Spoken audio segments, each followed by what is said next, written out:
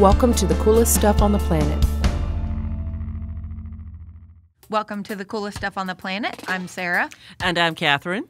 You know, Catherine, we visited the Keukenhof in Holland a couple of months ago. Oh, yeah, that's and right. today we're sort of revisiting the Dutch, but we're doing it in a different way. We're going to Curacao, which is in the Caribbean. Mm-hmm. It's one of the ABC islands, and that's Aruba, Bonaire, and Curacao, and they all share a history of Dutch rule. That's right. And Curacao is located just a little bit off the coast of Venezuela.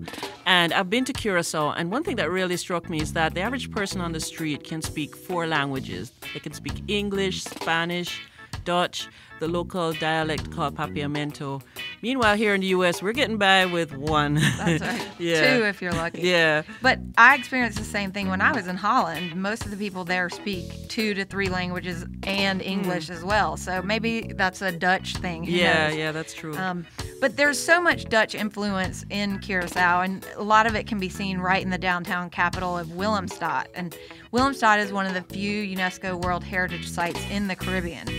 It was established in the mid 1600s, and the structures there are very similar to those you see in Amsterdam. Most are 17th and 18th century Dutch colonial buildings that you really don't see anywhere outside of the Netherlands, except for those in Curacao. Yeah, and one difference between them is that the in Willemstad the buildings are really pretty pastel colors. They're That's right. They're beautifully painted. Yeah. You don't see that in the Netherlands. Mm, no, you won't see that, but they have the same designs. But Exactly. But no, they'll be brightly colored in pink or blue or those colors. Yes. Yeah. And also, Willemstad is divided into two sections which are connected by the Queen Emma Bridge, which is what they call a hinged pontoon bridge. What that means is that uh, it floats in the water and it's a pedestrian bridge, but it will swing open every half hour or so to let a boat through. So it's really fun to just sit there and watch the boat uh, swinging back and forth or to see it at night when it's all lit up. So that's a really nice thing to see. Another really interesting spot that you definitely need to check out in Willemstad is the Museum Kura Hulanda. Mm-hmm. It's located inside a really beautiful hotel, which is the Hotel Kura It's Hulanda. interesting, yeah. But the museum itself is huge. It's 16,000 square feet, and it just features really world class exhibits, um, including stuff on the African slave trade, the West African empires.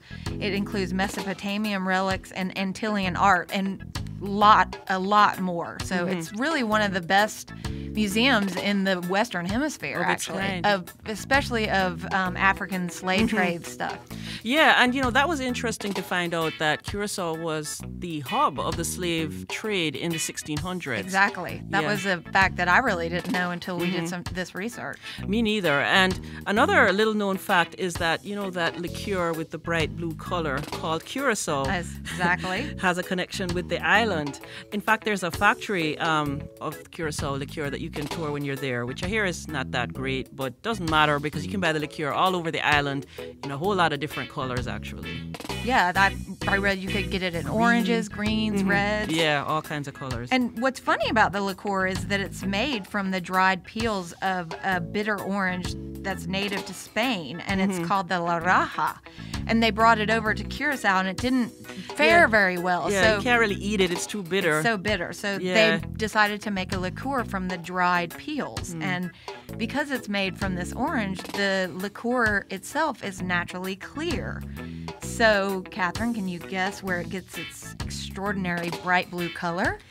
Gee, well, with that kind of color, could it be food coloring? That's right. Huh. You know, I, I was doing the research and I was really expecting to find this really interesting story behind it, Uh-huh. but it really just comes from blue food coloring. So it was a little bit of a letdown, I, Hmm. know. have to be honest. So maybe they do it to, you know, set it apart from all the other different orange liqueurs out there. Who Yeah, knows? yeah. That's, that's what we're going with, right? it calls attention to itself on the on the you know The plethora of orange liqueurs out yeah there, like, right? I'll take the blue one. That's right. It makes a pretty cocktail. Yeah, it so. definitely does.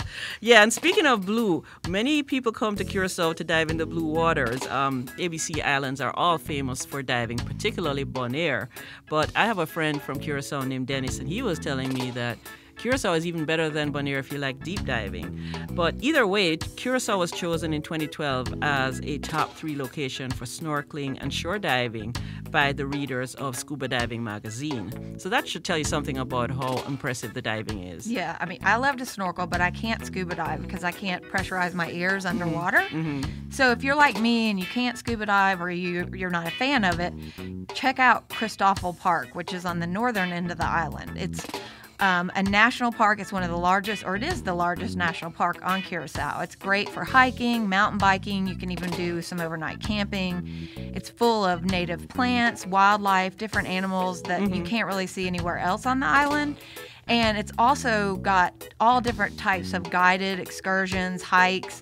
They even have a pickup safari where you can see all different types of animals. And so it's a great place where you can sort of do some fun outdoor activities that don't necessarily involve water sports. Right, something see a different side of the island. There. Yeah. yeah, definitely.